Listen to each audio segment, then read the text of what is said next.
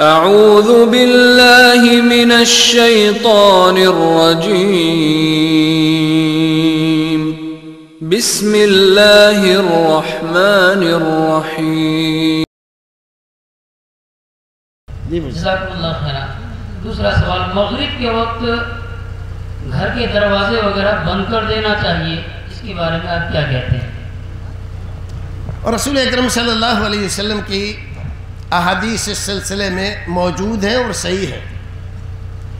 شام کو سورج چھپنے کے بعد جیسے رات آتی ہے، ویسے ہی شیطان سکریہ ہو جاتے ہیں آبادیوں میں۔ تو بچوں کو گھر میں رکھو، دروازے بند کر دو، یہ رسول اکرم کا حکم ہے۔ اور یہ صحیح ہے بات، ایسا کرنا چاہیے۔ ہم بھی احتیاطی کر رہے ہیں آج کل، اس کی وجہ سے اکثر گھروں میں بھوت کا، چڑیل کا، جنوں کا، اس کا اس کا، سائے کا صحابے کا، کیا کیا خرافات آج کل مچی ہوئی ہے لوگوں میں۔ لڑکے، لڑکیاں پریشان رہتی ہیں۔ اس میں ایک وجہ یہ بھی ہے کہ ہم بے احتیاطی کرتے ہیں۔ آپ نے اسی کے ساتھ یہ بھی حکم دیا ہے، چراغ بجھا دو۔ یہ بھی حکم دیا ہے، جو پانی کے برتن ہیں اس کے اوپر کچھ رکھ دو، ڈھک دو اس کو، کھلا مت چھوڑو اس کو۔ اس میں کوئی آئے سانپ وغیرہ پانی پیے اور زہر چھوڑ جائے اور آپ اٹھے اور پانی پی لے، تو سارا گھر تو پہلے دیے چلتے تھے، چوہا تیل پیتا ہے، تو چوہیا وہ بتی کھینچ کے لے جائے گی اپنی، ادھر کو اور وہاں کوئی چیز ایسی رہی راستے میں جو آگ پکڑ لے، تو آگ پکڑ لے، سارا گھر جلا دے گی۔ یہ تمام ہدایتیں ہیں رسول اکرم کی یہ بات صحیح ہے کہ شام کو دروازے بند کر دینا چاہیے اور بسم اللہ پڑھ کے بند کرنا چاہیے تاکہ شیطان نہ آئے۔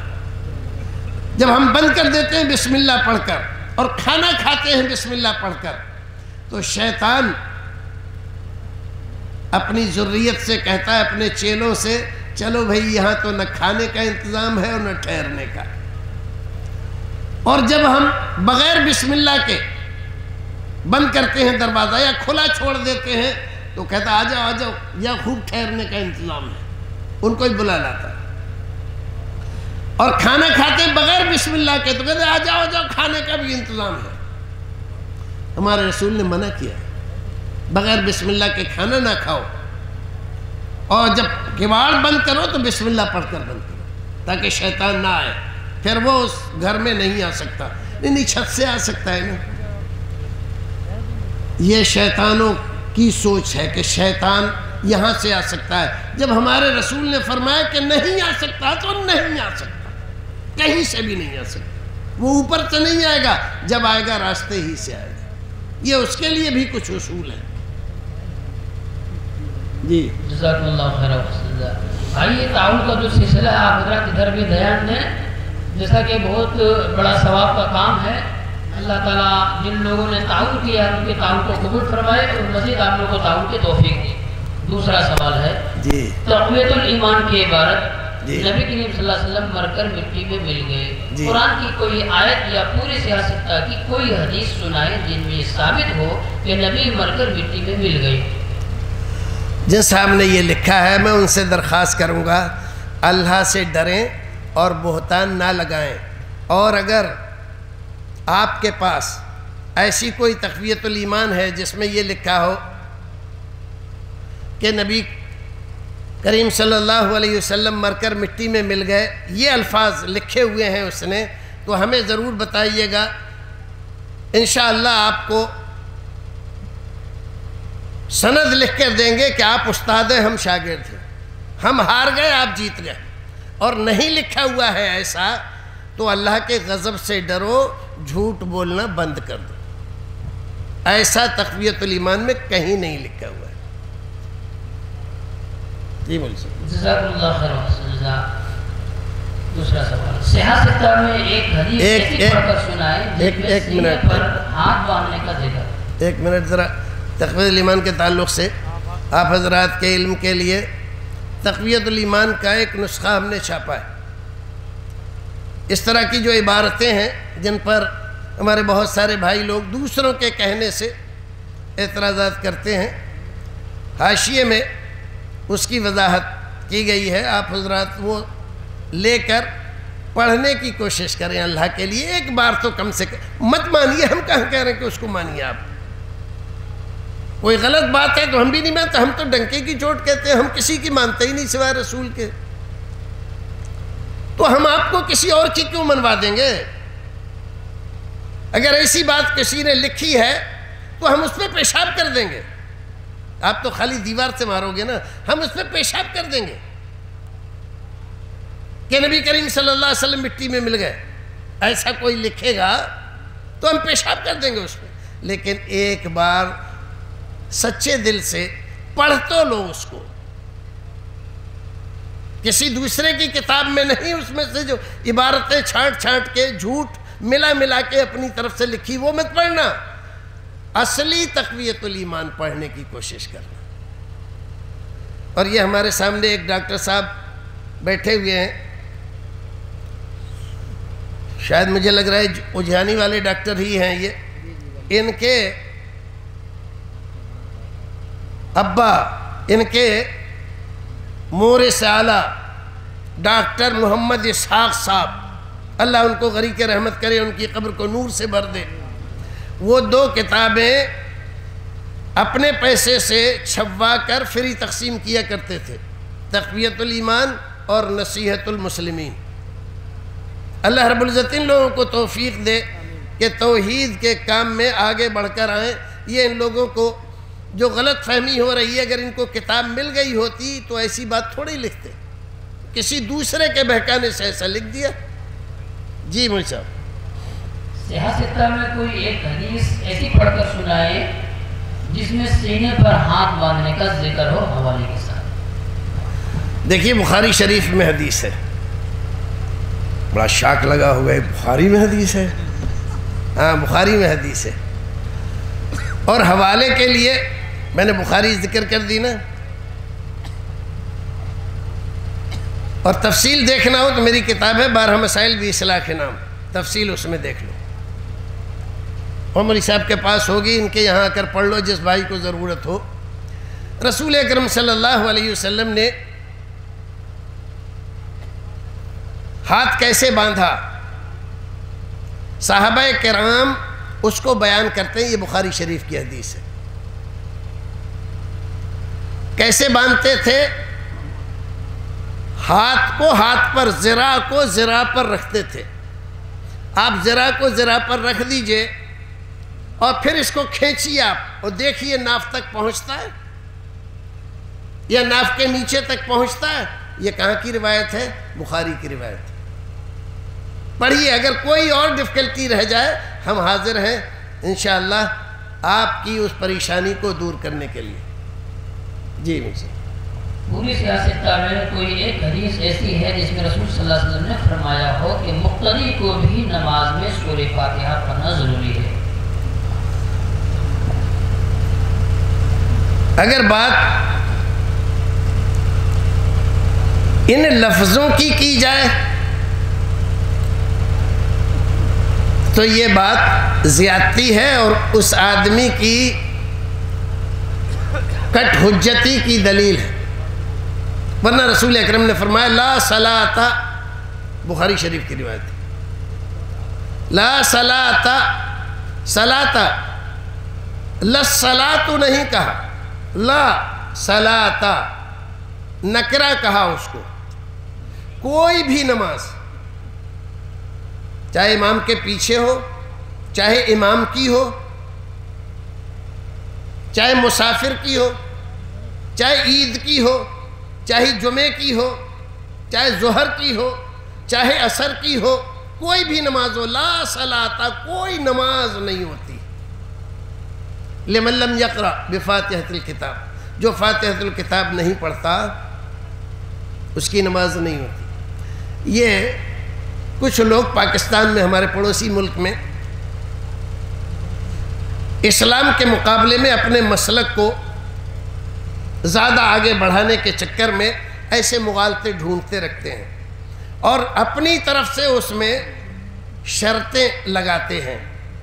بھائیو، حنفی مذہب میں بھی، حنفی مسلک میں بھی بغیر فاتحہ کے نماز نہیں ہوتی۔ میں کہہ رہا ہوں رضا اللہ عبد الکریم مدنی، میری بات نوٹ کریں۔ حنفی مذہب میں بھی بغیر فاتحہ کے نماز نہیں ہوتی۔ بس سمجھنے کا فرق ہے۔ مسلم شریف اٹھاؤ اور دیکھو۔ رسول اکرم صلی اللہ علیہ وسلم فرماتے ہیں۔ قسمت الصلاة بینی و بین عبدی نصفینی میں نے نماز کو کیا کہا؟ قسمت الصلاة، نماز کو میں نے تقسیم کر دیا ہے۔ بینی و بین عبدی، اپنے اور اپنے بندے کے درمیان آدھا آدھا۔ صحیح حدیث ہے مسلم شریف۔ پڑھی بھی ہوگی بہت سارے لوگوں نے، غور نہیں کیا ہوگا، میں آپ کو سمجھاتا ہوں۔ میں نے فاتحہ کو اپنے اور اپنے بندے کے درمیان آدھا آدھا تقسیم کر دیا ہے۔ جب بندہ کہتا ہے الحمدللہ رب العالمین، تو اللہ کہتا ہے حمدنی عبدی، حدیث قدسی ہے میرے بندے نے میری حمد بیان کی۔ جب کہتا ہے رحمان الرحیم، تو اللہ تعالیٰ کہتا ہے مجدنی مجدنی عبدی۔ میرے بندے نے میری تمجید بیان کی، اور ایسے ہی یہاں سے کہتے کہتے پھر جب آتا ہے بندہ ایا کا نعبد و ایا کا نستعین، تو اللہ تعالیٰ کہتا ہے حاضہ بینی و بین عبدی۔ یہ میرے اور میرے بندے کے درمیان معاہدہ ہے۔ کیا ہے یہ؟ ایا کا نعبد، میں عبادت تیری ہی کروں گا۔ وہ ایا کا نستعین، مدد تجھ سے ہی مانگوں گا۔ یہ فاتحہ میں ہم ہر رکت میں اللہ سے اقرار کرتے ہیں۔ کیا کہا؟ یہ میرے اور میرے بندے کے درمیان معاہدہ ہے۔ اب اس کے بعد اہدن الصراط المستقیم یہاں سے وَحَاذَا لِعَبْدِي وَلِعَبْدِي مَا سَأَلْ. یہاں سے آخر تک یہ بندہ مجھ سے مانگ رہا ہے اور میں اپنے بندے کو وہ سب کچھ دوں گا جو وہ مانگ رہا ہے۔ دیکھیے، یہاں کیا کہا اللہ کے رسول نے؟ قسمت الصلاطہ یہ نہیں کہا قسمت الحمد للہ رب العالمین۔ میں نے الحمدللہ کو بانٹ دیا ہے، یہ نہیں کہا ہے۔ کہا ہے میں نے سلاد کو بانٹ دیا ہے۔ سلاد نام ہی الحمدللہ رب العالمین کا ہے۔ نماز نام ہی الحمد کا ہے۔ الحمد نہیں پڑھی، نماز ہی نہیں ہوئی۔ ایک اور بات۔ دیکھیے ہدایہ کھولیے، ہدایہ۔ ہدایہ تو بڑی کتاب ہے نا سب سے فقہ حنفی کی۔ ہدایہ کھولیے اور اس کو آپ کو ملے گا نیچے صفحے میں لکھا ہوا ہے۔ متن میں لکھا ہوا حاشیے میں نہیں، متن میں۔ امام کے پیچھے فاتحہ نہ پڑھنے کا قول، امام ابو حنیفہ کا قول قدیم ہے۔ امام ابو حنیفہ اور امام محمد کا قول جدید یہ ہے کہ احتیاطاً امام کے پیچھے فاتحہ پڑھ لینا چاہیے۔ لیکن پہلا قول مشہور ہو گیا دوسرا قول مشہور نہیں ہوا۔ وہ قول قدیم ہے، یہ قول جدید ہے۔ دیکھو، ہدایہ اٹھا کر دیکھو۔ اور اگر ایسے ذکر کرنے لگ جاؤں تو گھنٹے لگ جائیں گے فاتحہ کے اس میں۔ بات یہی ختم کر دے پھر انشاءاللہ کبھی کتاب پڑھی آپ بارہ مسائل بھی صلاح کے نام۔ فاتحہ کا مسئلہ اس میں ہے اور ایک کتاب اور ہے ہماری۔ مسئلہ قرت کی حقیقت اور الزامات کا جائزہ۔ المعاد الاسلامی سلفی نے چھاپی ہے یہ ناظم صاحب بیٹھے ہوئے ہیں ان سے مانگیے اور پڑھیے اس کتاب کو۔ پڑھنے کے بعد اگر کوئی آپ کو کنفیوژن رہ جائے تو ہم ذمہ دار ہیں اس کے حل کرنے کے لیے بیٹھے۔ جی مجھے صاحب۔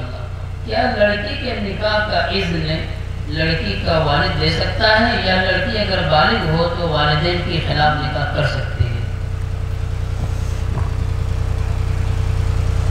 فقہ حنفی میں مسئلہ یہی ہے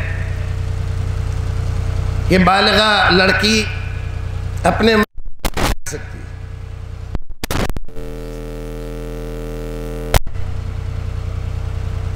لا نکاح الا بولی نکاح بغیر ولی کے منعقد نہیں ہوتا۔ اور شاید الفاظ یوں بھی ہیں، حضرت عائشہ کی روایت کلو امرات نکحت بغیر اذن ولیہا فنکاہوہا باطل باطل باطل. کہ جس عورت کا نکاح بغیر اس کی ولی کے اذن کے و اجازت کے منعقد کیا گیا، تو وہ نکاح باطل ہے باطل ہے باطل ہے. ہمارے پاس تو حدیث رسول ہے، ہم نے آپ کو سنا دی، ماننا نہ ماننا آپ کا کام. جی. ہم نے سنا ہے کہ اولاد شوہر کے نصیب سے ملتی ہے اور دولت بیوی کے نصیب سے ملتی ہے کیا صحیح ہے۔ شنیدہ کیب و ادمانندیدہ سنی ہوئی باتیں تو ہزاروں ہیں، سنتے رہتے ہیں۔ یہ سب بے صفے کی ہوتی ہے جس کے سمجھ میں آیا اس نے اپنی تک لگا دی۔ تو یہ تو یہ ہے کہ لگ گیا تو تیر، نہیں تو تکا ایسی باتیں ہیں، ان کی کوئی حیثیت نہیں ہے۔ سب اللہ کے حکم سے اس کی منشا سے ملتی ہے۔ اولاد بھی اور دولت بھی۔ یہ الگ بات ہے کہ اللہ رب العزت ہر ایک کا نصیب بھی اسی نے لکھا ہے، تو ہے اسی کی اجازت کی۔ اس کا حکم ہوگا، تبھی ملے گا۔ کیا نامی کوئی جناتیوں کی سردار ہے جو بچوں کو اٹھا کر لے جاتے ہیں؟ طب یونانی میں ام سبیان کہتے ہیں جو ہمارے پسلی چلتی ہے نا بچوں کی، یہ اسی کا نام ام سبیان ہے۔ بچوں کو اس کو ڈبہ بھی کہتے ہیں۔ تو یہ بیماری اسی کا نام ام سبیان ہے۔ اب لوگ اس کے ساتھ کیا کیا لگا دیتے ہیں؟ لفظ ام دیکھا تو ہندوستانیوں کے دماغ میں کچھ چلنے لگا۔ عرب میں ایسا نہیں ہے، وہاں ابو اور ام کا مطلب کچھ والے کے معنی میں ہوتا ہے۔ سبیان والی بیماری جو بچوں کو اکثر ہوتی ہے، پسلیاں چلنے لگتی ہیں، سردی آئی، لگ گئی، تو اب ان کے چلنے لگی پسلی۔ یہ ہے ام سبیان۔ کوئی الگ سے کوئی جنی، جنیوں کی سردار یا جنوں کی کوئی لونڈی یا بہو، ایسا کچھ نہیں ہے۔ جی مجھے بہت بہت شکریہ۔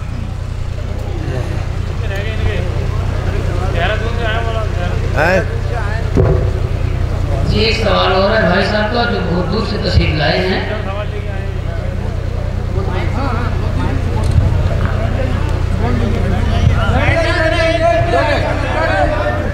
سبھی حضرات بیٹھ جائیں کہ دعا ہوگی آپ دعا میں شریک ہوں۔ مجھے ہی ہندی میں لکھا ہے کیا؟ اچھا۔ ہاں بولیے۔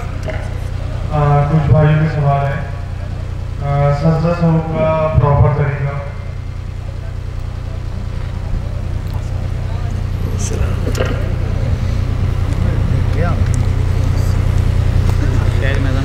خیریت سے میرے لیے دعا کرو۔ اللہ آپ کو صحت و عافیت سے رکھے۔ جی جی۔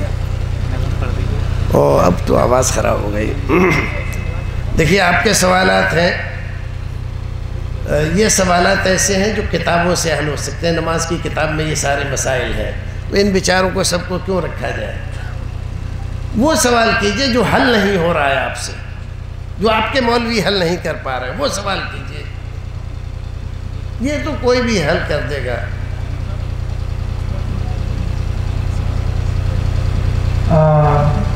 قرآن کی آیت ہے سورہ عراف کی آیت نمبر پچپن جس میں دعا کو بتایا گیا ہے۔ اللہ سبحانہ تعالیٰ کہتا ہے کہ جب تم دعا مانگو تو گڑ گڑا کے اور سیکریٹلی تو لاؤڈلی کا اس میں کیا ذکر ہے کیا مطلب تیز سے نہیں مانگ سکتے کچھ اس کے وجہ سے؟ قرآن شریف میں کہا اللہ تعالیٰ نے ادعو ربکم تذر و خفیہ. جی جی۔ گڑ گڑا کر اور چپکے چپکے۔ چپکے تو یہاں پر اس کو رب کا فی نفس کا تذر و خیفہ دون الجہر من القول بالغدو والآثار۔ یہی آیت کریمہ ہے یہ اس کے علاوہ ہے۔ جی جی جی۔ دیکھیے اللہ رب العزت کو ہم کبھی ضرورت ہوتی ہے زور زور سے ہی بلا دیتے ہمارا نفس، ہمارا دل، ہماری تکلیف، ہماری پریشانی، خود ہماری طبیعت ہمیں زور سے بولنے پر آمادہ کرتی ہے اللہ، جیسے قرآن شریف میں ذکر کیا گیا کہ یہاں تک کہ نبی اور رسول یہ پکار اٹھے، متا نصر اللہ اللہ نصر اللہ قریب۔ کہ اللہ تیری مدد کب آئے گی؟ تو کبھی ضرورت ہوتی ہے، ایسے زور سے بھی کہ اور اکثر احوال میں جب ہم اپنے گھر میں رہیں، مسجد میں رہیں، اکیلے تنہائی میں رہیں، تو جتنا رو کر، گڑ گڑا کر ہم دعا مانگیں گے، اتنا ہی اس میں خوشو خضو پیدا ہوگا اور ہمارا دل اس سے لگے گا۔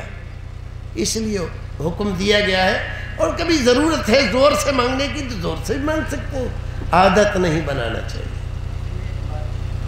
جس میں ایک حدیث بھی ملتی ہے جس میں اللہ کے رسول صلی اللہ علیہ وسلم فرماتے ہیں کہ اللہ سبحانہ و تعالیٰ جانتا ہے تم چلا چلا کے دعا کیوں مانگتے ہو؟ ہاں۔ کہ تمہارے لیے بہتر ہے کہ خاموش ہو کیونکہ اللہ سبحانہ و تعالیٰ سننے والا ہاں۔ اللہ رب العزت بہرا نہیں ہے۔ یہ ہے حدیث۔ جی جی جی۔ اللہ رب العزت بہرا نہیں ہے۔ تم چیخ چیخ کے دعائیں مت کرو۔ تو یہ کس لیے کہا گیا کہ بعض لوگ اس زمانے میں، رسول اکرم کے زمانے میں، پرانے زمانے، جاہلیت کے زمانے سے کچھ رسمیں چلی آ رہی تھیں، تو اس میں ہاتھ اٹھا کر اور چیخ چیخ کے دعائیں کرتے تھے۔ تو رسول اکرم نے منع کیا کہ اس طرح سے چیخ چیخ کے، چلا چلا کے دعا مت کرو۔ اللہ رب العزت بہرا نہیں ہے، وہ دل کی آواز بھی سنتا ہے۔ حضرت، اس میں جو نا حد سے جو اللہ ان لوگوں کو ناپسند کرتا ہے جو حد سے نکل جائے ہاں حد سے تجاوز کرنے کی بات آئی ہے اور اس کی دو تشریح کی ہے محدثین کرام۔ ایک تو یہ ہے کہ سجا کے ساتھ جیسا جادوگر لوگ اس زمانے میں سجا یعنی قافیہ بندی کرتے تھے دعا کے ساتھ۔ یہ ہے حد سے تجاوز کرنا۔ اور یہ کہ یہ ہے اے اللہ ہمارے گھر کو آفیت میں رکھ۔ ایک تو یہ اے اللہ ہمارے ابا کو آفیت میں رکھ ہماری اماں کو آفیت میں رکھ ان کی ایک بڑی بیٹی ہے اس کو آفیت میں رکھ۔ چھوٹی بیٹی ہے اس کو آفیت میں رکھ۔ جو مجلی ہے اس کو آفیت میں رکھ۔ جو اس سے بھی چھوٹی ہے اس کو یہ حد سے تجاوز کرنا۔ اور ایک کافی بڑا مسئلہ ہے کہ کیا بدعتی کے پیچھے نماز ہو سکتی ہے؟ ایسا بدعتی جس کی بدعت حد شرک اور کفر تک پہنچتی ہے اس کے پیچھے نماز نہیں ہوتی۔ اور اگر اس سے کم بدعت کا کوئی کام کرتا ہے تو اس کے پیچھے نماز ہو جاتی ہے پہلے سے ہی پڑھتے رہے ہیں۔ لوگ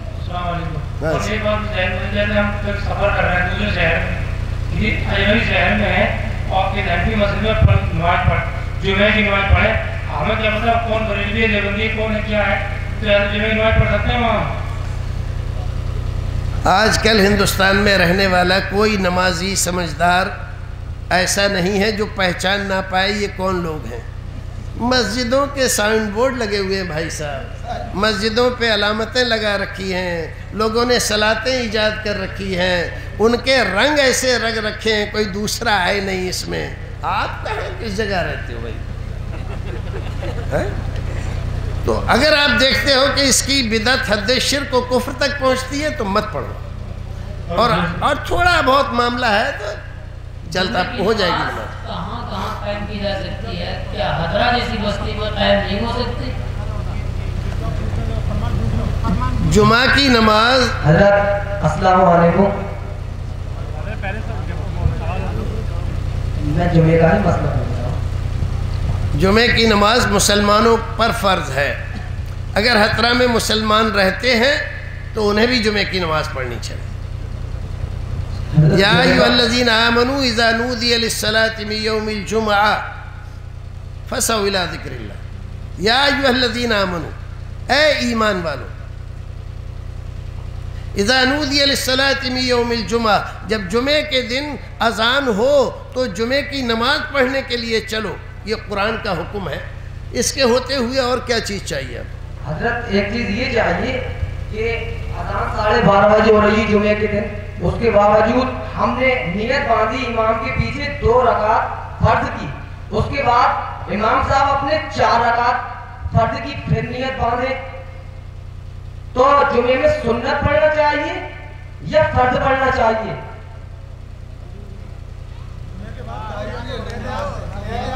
بات آپ کی سمجھ میں نہیں آئی۔ میں یہ کہنا چاہتا ہوں ہاں ہلکے ہلکے ہلکے بولو آہستہ جمعے میں ہم نے امام صاحب کے پیچھے دو رکعت فرض کی نماز کی باندھی جاتی ہے نیت۔ ہاں۔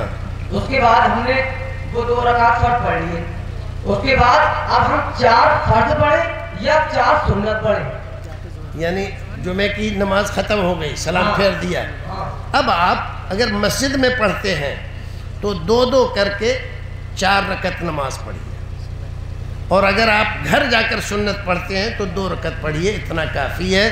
یہی رسول اکرم کی سنت ہے، صحابہ اکرام کی سنت۔ بتائی سنیے جی جی۔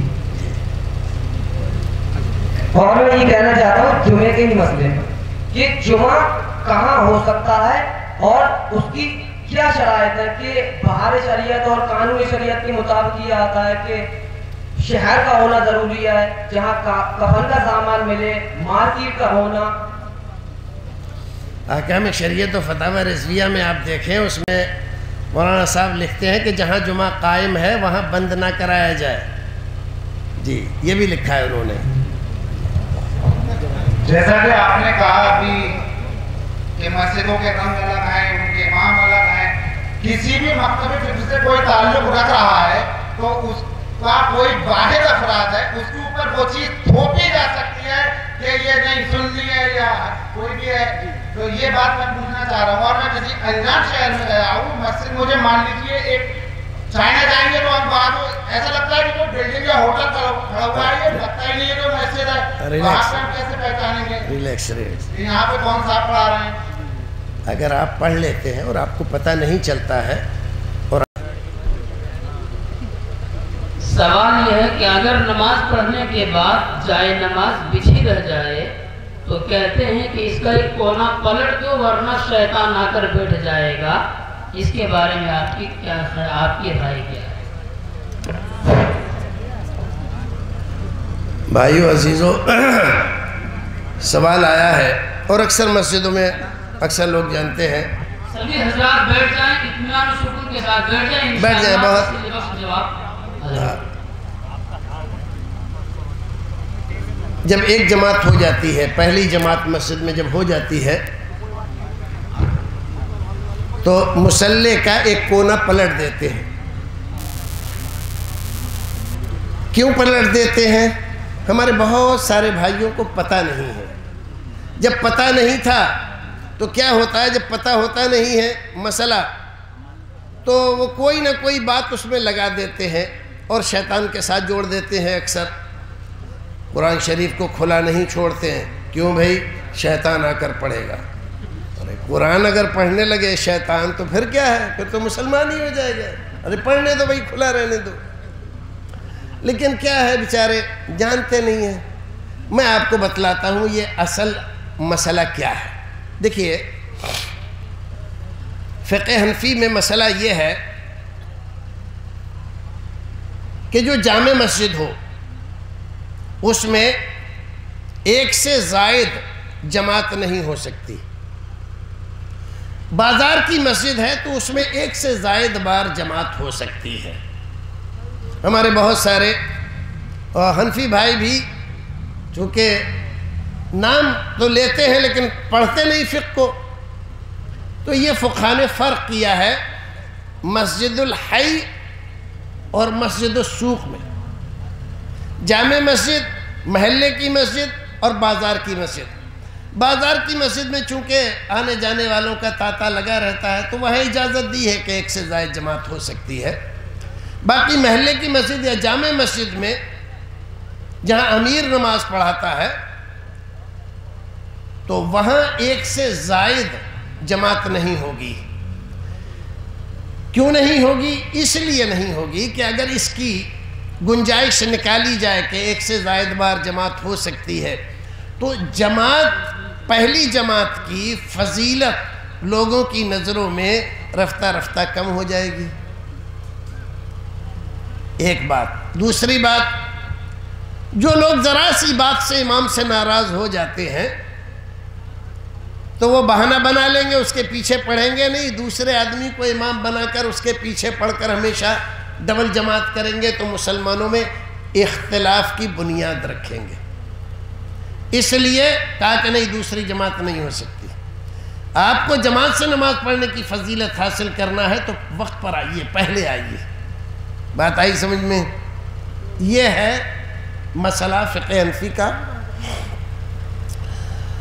رسول اکرم صلی اللہ علیہ وسلم کی سیرت سے اور محدثین کرام نے، صحابہ کرام اور رسول اکرم کے جو فرامین نقل فرما ہے اس سے اس بات کا ثبوت ملتا ہے کہ مسجد میں دو بار اگر کوئی آدمی کسی کی چھوٹ گئی ہو کسی وجہ سے، تو وہ اور ایک آدھ آدمی اور بھی آ جائے، تو وہ دوبارہ بھی جماعت کر سکتے ہیں۔ چلیے، یہ مسئلہ تو ہے نہیں آج زیر بحث کے، اس کی ہم دلیلیں اور دیں۔ مسئلہ تو یہ ہے کہ وہ جو کونا لوٹ لوٹا جاتا ہے۔ تو کونا کونا اس لیے لوٹتے ہیں تاکہ جو دوسرا آدمی کوئی آئے۔ مطلب یہ لوگ نماز پڑھ کے چلے جائیں۔ کونا لوٹا ہوا ہے تو آ کے سمجھ لیں کہ جماعت ہو چکی ہے۔ اب کوئی دوسرا آدمی جرت نہ کرے جماعت کرنے کی۔ بات آئی سمجھ میں؟ اس میں شیطان کا کوئی معاملہ نہیں۔ ہے یہ علامت ہے کہ جماعت ہو چکی۔ اس لیے اب کوئی دوسری جماعت نہیں ہوگی۔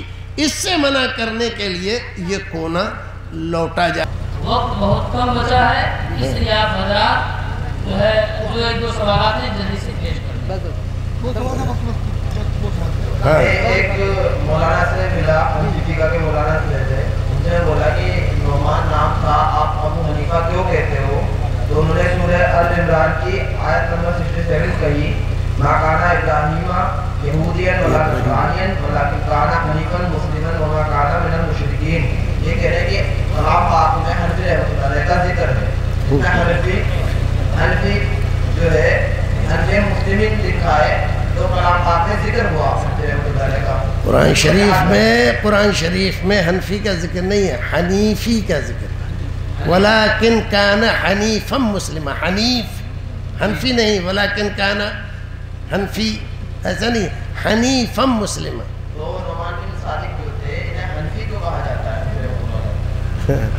ان کو تھوڑی کہا جاتا ہے آج کل لوگوں کو کہا جاتا ہے حنفی۔ امام حنیفہ تھوڑی حنفی تھے۔ وہ حنفی نہیں تھے۔ یہ تو بعد والے لوگ حنفی بنے۔ ہیں؟ کنیت ہے ان کی ابو حنیفہ۔ جی؟ ابو حنیفہ کنیت ہے۔ کنیت ہے ان کی جیسے عرفیت ہوتی ہے نا بہت سارے لوگوں کی۔ نام عبدالسلام ہے اور ویسے سب دوست لوگ گڈو کہتے ہیں اس کو۔ کہتے ہیں کہ نہیں؟ آخری سوال کر لیں آخری سوال۔ ہاں۔ مثلا یہ ایک میرے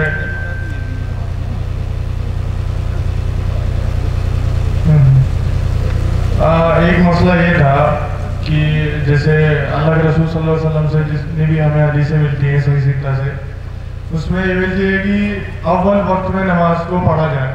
اور ایک حدیث یہ بھی ملتی ہے جس میں اللہ کے رسول صلی اللہ علیہ وسلم فرماتے ہیں کہ آخری اس زماں میں ایسے آئیں گے جو نماز کے ٹائم کو مطلب مار کے دوسرے ٹائم میں ادا کریں گے۔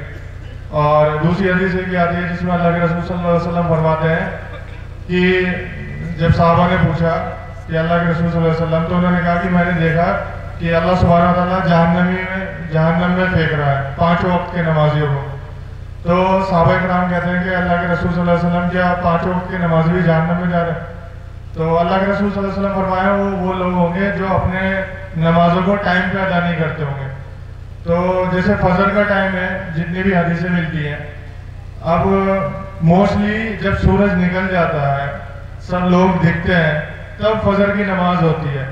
اور اول وقت میں صحیح سکتا کی حدیث میں، جس میں حضرت عائشہ رضی اللہ عنہ کی حدیث ہے، جس میں حضرت عائشہ رضی اللہ عنہ فرماتی ہیں کہ اللہ کے رسول صلی اللہ علیہ وسلم جب فجر کی نماز پڑھاتے تو ہمیں ایک دوسرے کی شکل بھی نہیں دکھائی دیتی۔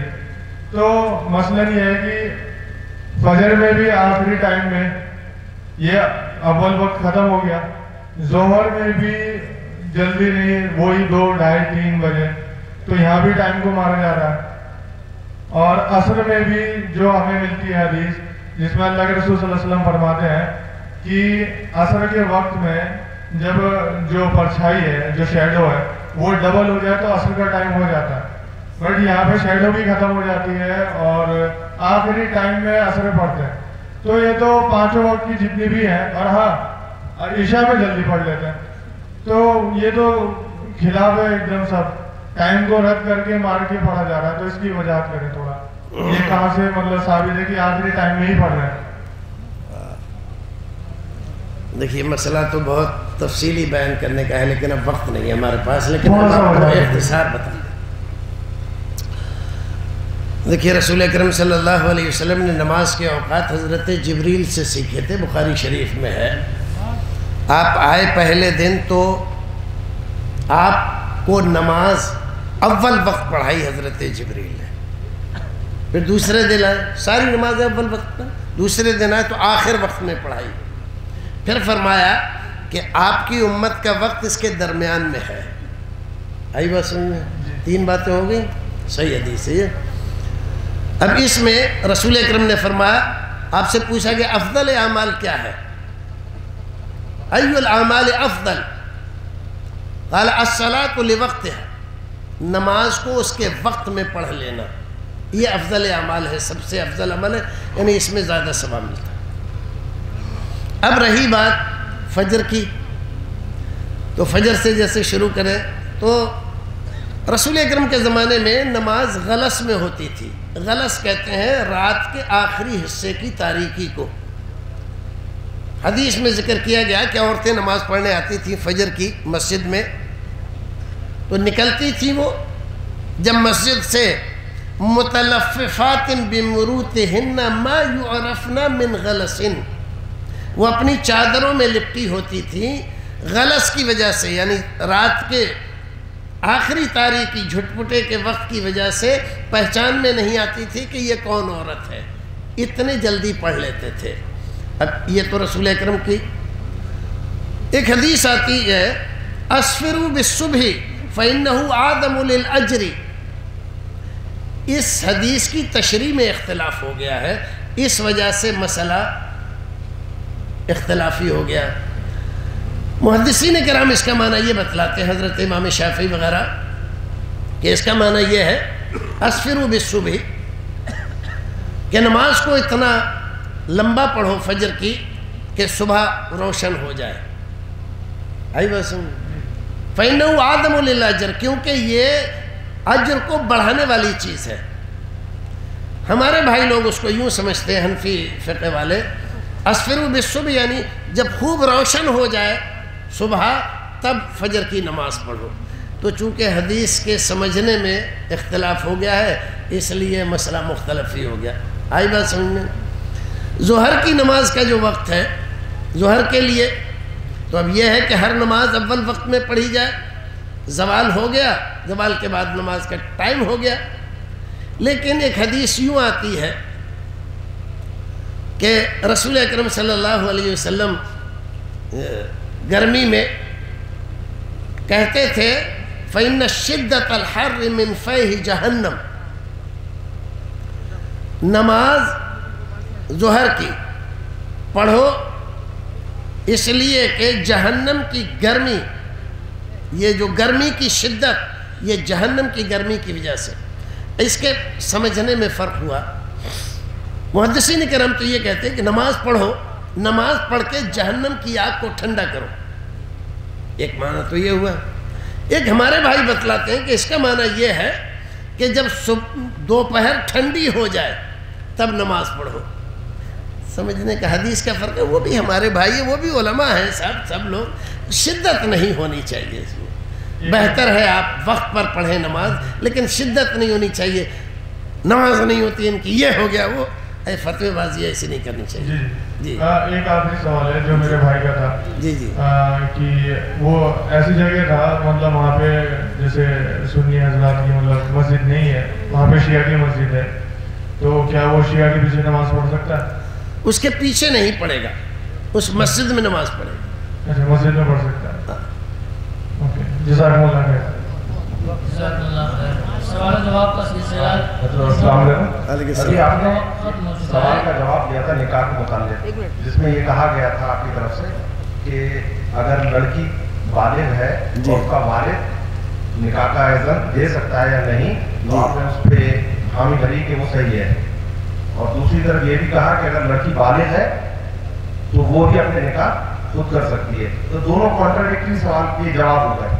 نہیں آپ نے سنا نہیں اچھی طرح سے سنا نہیں سنا نہیں دوبارہ ہاں میں یہ جواب پوچھا گیا تھا سوال یہ تھا اس میں کہ اگر لڑکی بالغ ہے تو وہ اپنا نکاح خود کر سکتی ہے تو آپ نے کہا کہ اگر لڑکی بالغ ہے تو وہ خود کر سکتی ہے دوسری طرف یہ بھی کہا میں کہہ دوں کہ پھر سے میں نے یہ کہا تھا ہمارے یہاں فقہ حنفی میں یہ ہے کہ اگر لڑکی بالغ ہے تو وہ اپنا نکاح خود کر سکتی ہے فقہ حنفی میں کہا تھا۔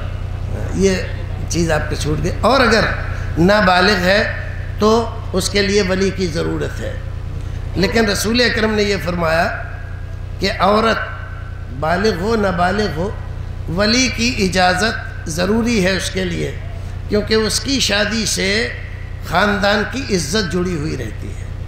اگر ہم اس کو اجازت دے دیں کہ وہ اپنے من سے جہاں چاہے کرے، تو جب چاہے گی کوئی لڑکی، جیسے آج کل کا ماحول ہے کالجوں یونیورسٹیوں میں پڑھ رہی ہیں لڑکیاں، تو کہیں بھی کوئی کسی بھی لڑکے سے محبت کا ناٹک کر کے اور جائے، سارے خاندان کی عزت کا جنازہ نکال دے۔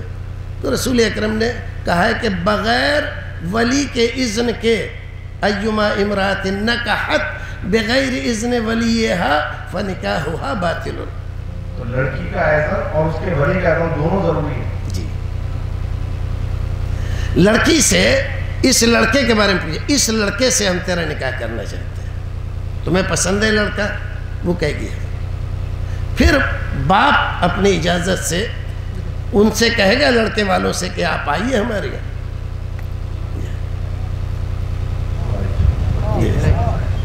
مولانا سوال ہے۔ جی۔ جیسے کہ کہا جاتا ہے کہ انگلش کے سبھی خوشیاں مناتے ہیں ہاں۔ تو اس اس بات کو اتنا بڑھانا ہی نہیں چاہیے۔ جہالت کی پیداوار ہے۔ جہالت کے پیچھے نہیں بھاگنا چاہیے چھوڑ دینا چاہیے۔ جاہلوں کی بات اس کو کیا پیچھے پڑے یہ کوئی قرآن میں تھوڑی لکھا ہے کہ سب لوگ خوشیاں منا رہے ہیں۔ یہ جاہلوں کی بات ہے اس کے پیچھے کیا پڑیں گے؟ مولانا صاحب ہماری مسجد میں ہمارے باپ دادا سے دعا پڑھتے رہے ہیں۔ جی جی۔ ہمارے وہاں چار مسجد ہیں۔ ہمارے تیار والے مسجد کے امام صاحب کہتے ہیں کہ جمعے کے بعد چار رکعت ایک اور پڑھنا چاہیے۔ چاہے پڑھو چاہے اٹھے پڑھو۔ امام صاحب صحیح نہیں کہتے۔ دیکھیے عبادت ہوتی ہے یقین کے ساتھ۔ پہلے آپ نے جمعہ پڑھا پھر آپ نے احتیاطی ظہر پڑھی۔ تو یقین کیا ہے آپ کو کہ جمعہ ہو رہا ہے آپ کا یا ظہر ہو رہی ہے آپ کی؟ یقین تو کسی پر بھی نہیں ہوا۔ اور عبادت تو یقین کا نام ہے۔ تو یہ صحیح نہیں ہے۔ وہ ہے کہ جمعے کی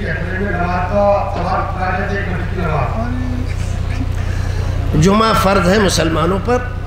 حضرت امام شافی رحمۃ اللہ علیہ کے چالیس مسلمان جہاں کہیں ہو وہ جمعہ پڑھیں، ان کے لیے جمعہ پڑھنا چاہیے۔ امام بخاری رحمۃ اللہ علیہ، بخاری شریف کھولیے آپ، کتاب الجمعہ نکالیے۔ اور اس میں دیکھیے پہلا جمعہ کہاں پر قائم کیا گیا۔ وہاں نہ کوئی مسلم بستی تھی، نہ کوئی حاکم تھا، اور نہ کوئی وہاں پر جو شرائط رکھتے ہیں، مصر کی مصر جامع ہونا چاہیے، کوئی شرط نہیں تھی۔ میں نے بتلا حالہ حضرت نے بھی یہ کہا ہے۔ ہاں ہاں۔ ٹھیک ہے ٹھیک ہے، ابھی بس بات ختم۔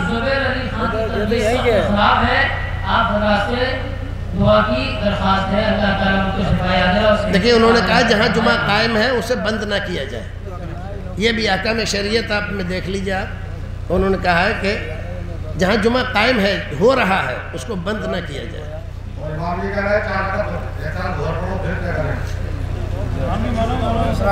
بھائی ہم تو رسول کی بات مانتے ہیں۔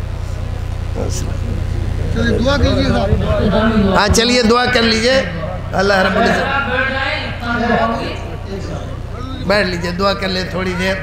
اللہ رب العزت ہمارے گناہوں کو معاف فرمائے پروردگار ہمارے بیٹھنے کو قبول فرمائے۔ الحمدللہ رب العالمین رحمہ الرحیم مالک یوم الدین۔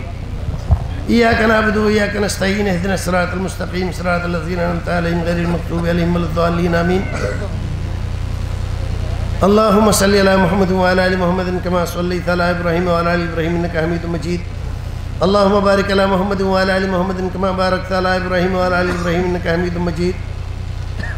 ربنا ظلمنا انفسنا وان لم تغفر لنا وترحمنا لنكونن من الخاسرين. ربنا افرغ علينا صبرا وثبت اقدامنا وانصرنا على القوم الكافرين. ربنا اننا آمنا فاغفر لنا ذنوبنا وكفر عنا سيئاتنا وتوفنا مع الابرار يا حي يا قيوم، برحمتك استغيث اللهم اغفر لنا فإنك خير الغافرين. اللهم ارحمنا فإنك خير الراحمين. اللهم ارزقنا فإنك خير الرازقين. اللهم اغفر لنا فإنك خير الغافرين. يا حي يا قيوم، برحمتك استغيث اللهم إني أعوذ بك من جهد البلاء ودرك الشقاء وسوء القضاء وشماتة الأعداء اللهم إني عبدك وابن عبدك وابن أمتك ناسيتي بيدك ماض في حكمك عدل في قضاؤك أسألك بكل اسم هو لك. سميت به نفسك وأنزلته في كتابك وعلمته أحد من خلقك أو استأثرت به في علم الغيب عندك. أن تجعل القرآن ربي قلبي وجلاء حزني وذهاب همي وغمي. یا حی یا قیوم برحمتک استغیث پروردگار ہمارے گناہوں کو معاف فرما دے۔